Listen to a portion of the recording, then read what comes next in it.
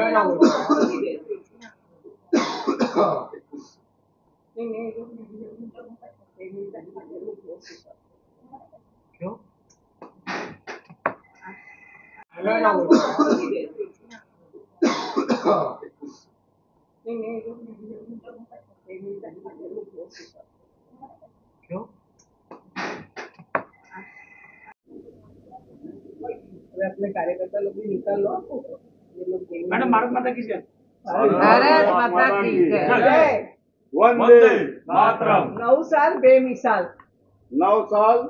समर्थन Modi eight nine इस कार्यक्रम की शुरुआत हो चुकी है। पूरे एक महीना भर ये सारा कार्यक्रम चलेगा। उसके अंतर्गत लोकसभा क्षेत्रों में पूरे ज़िले के लिए सांसद जी पत्रकार परिषद लेंगे। हर विधानसभा की अपनी पत्रकार परिषद होगी।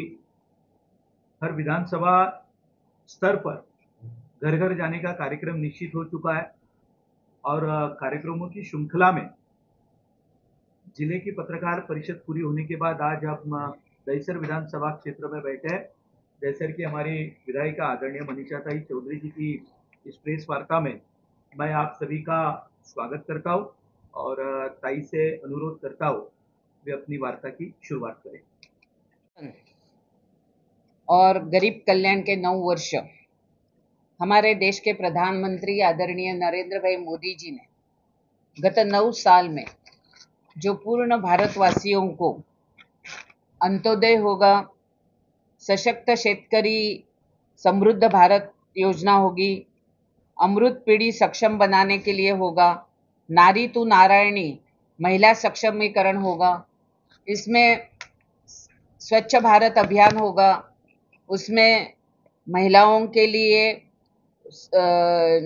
जो हमारे उज्ज्वला गैस योजना होगा stand up India startup India प्रधानमंत्री मुद्रा योजना मध्यम वर्गीय लोगों के लिए जो मेट्रो की सुविधा दी है, ऐसे अनेक योजनाओं का मोदी जी ने किया है। लेकिन मेरे को, आप सभी को बताते हुए आनंद हो रहा है कि मेरे दहीसर विधानसभा में आज मोदी जी के जो नौ वर्ष, उसमें हमारे दहीसर विधानसभा में थर्टी एट थाउज़ेंड है हमारे आयुष्मान भारत के लाभार्थी हैं।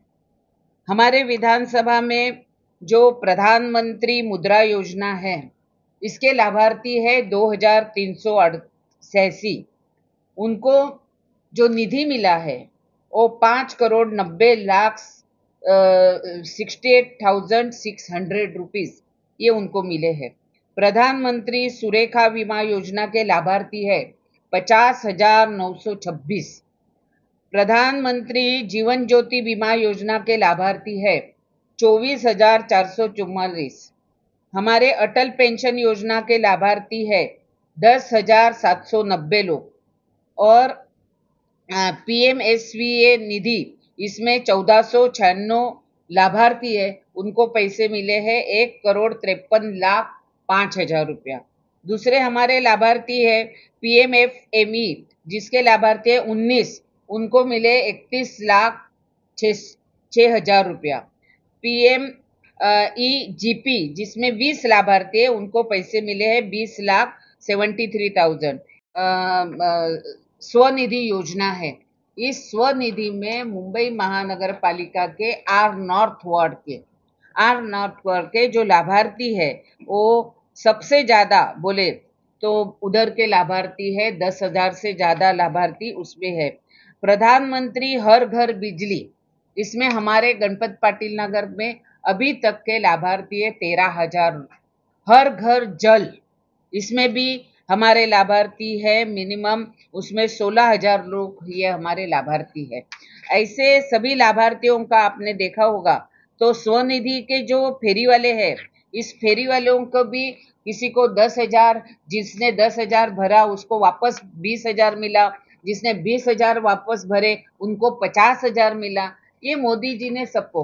और कौशल्य विकास योजना। अभी आप सभी को मालूम होगा कि मोदी जी ने बच्चों के लिए। हर बच्चा डॉक्टर नहीं बन सकता, हर बच्चा हमारा इंजीनियर नहीं बन सकता, हर बच्चा वकील नहीं बन सकता, लेकिन कौशल्य विकास के माध्यम से हर एक बच्चों को स्वावलंबी करने का काम मोदी जी ने किया है।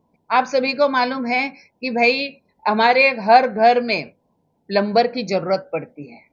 तो प्लम्बर इंजीनियर होगा, वो प्लम्बर का काम नहीं करता है। लेकिन कौशल्य विकास योजना में से जो हमारे बच्चे तैयार हुए, उनको रोज़गार मिलता है। फ्रिज रिपेयरिंग करना है, कौशल्य विकास के माध्यम से हमारे बच्चे तैयार है। ऐसे दहसर विधानसभा में हमने नौ साल में, नौ साल में हमने आठ हज़ार छः सौ, आठ हज़ार छः सौ लोगों को कौशल्य विकास माध्यम से ट्रेनिंग दिया है।